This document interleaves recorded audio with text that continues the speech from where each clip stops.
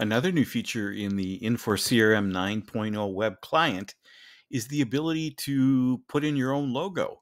So to white label it as such, uh, out of the box, it's going to have Infor up here in the upper left corner. Uh, but you can put your own company logo in here to personalize it. So to do that, we go into administration and then office profiles.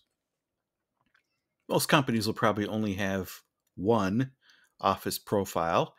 Uh, in this case, Phoenix Computer in my demo system, and there's the logo. You'll notice it says drag and drop company image here.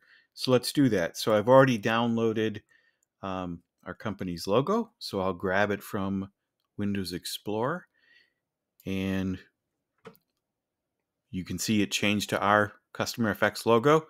I'm going to save my changes now and do a browser refresh. And there we now have a personalized version of Infor CRM. Our logo has been replaced permanently until you change it to something else inside the web client. Thanks for watching.